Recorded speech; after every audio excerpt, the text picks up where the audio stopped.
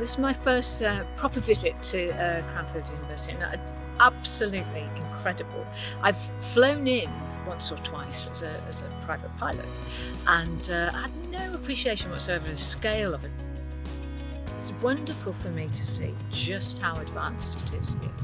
Uh, I always think of myself as I'm a, I'm a digital person born in an analogue age. I was born in 1960, but now I'm approaching 60, and uh, and I work a lot with young people. So I'm ambassador for Royal Air Force Air Cadets. I'm ambassador for the uh, All Party Parliamentary Group on General Aviation, and uh, sit on the National Education Board and so on and so forth. And uh, and and I.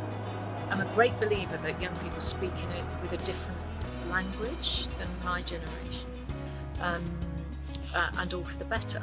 Uh, they don't have any fear of the touchscreens and the buttonology and, and so on.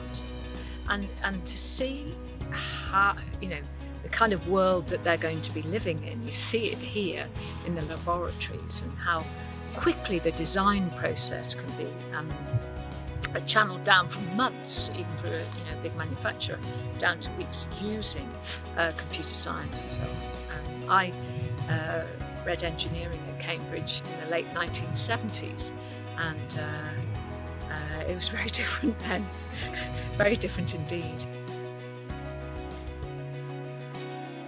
It's just wonderful to see. I want to come back now. I've had a whirlwind tour today, um, but I'd like to come back and understand some of the things a little, a little